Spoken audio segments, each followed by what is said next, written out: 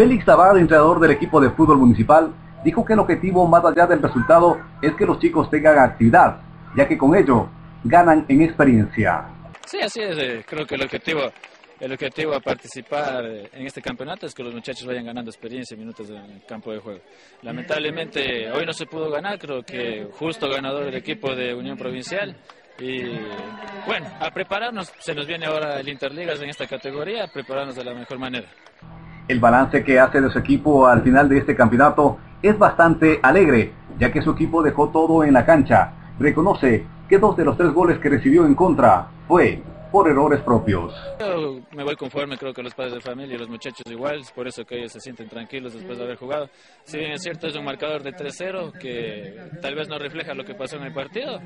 Ellos dominaron la mayor parte del partido, pero tenemos que ser conscientes que dos goles eh, lo, prácticamente lo- nos hicimos nosotros mismos.